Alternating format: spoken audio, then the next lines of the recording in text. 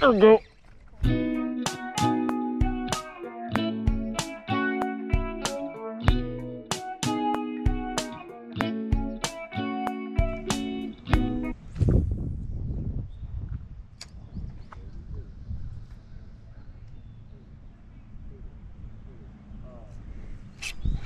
There we go.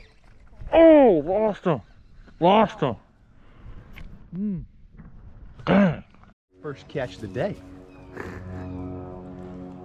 think his name's Phil. Phil, how do you know his name? Oh yeah. Hold on.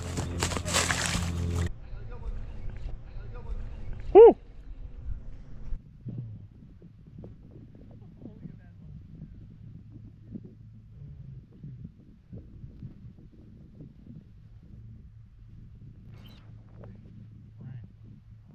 I can't get this hook.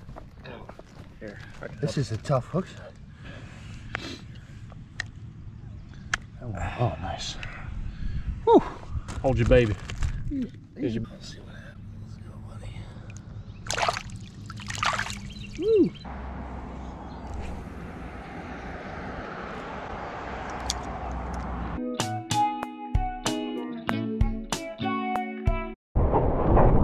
buddy.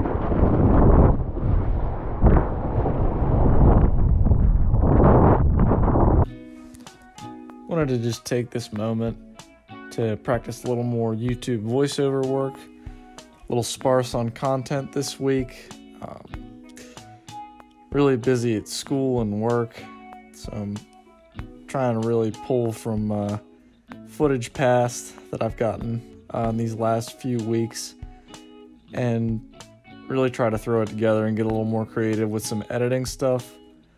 But not a lot of surfing lately. I've been dealing with a shoulder injury the past couple months, and after finally going to the doctor, it turns out I have a broken collarbone instead of what I thought was a torn labrum.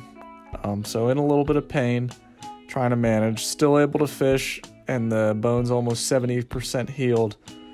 But because of the nature of the injury and kind of uh, how long it takes to heal and what a sensitive area it is, um, I'm supposed to avoid uh, excessive overhead movements and full scapular retraction, which surfing involves both of those.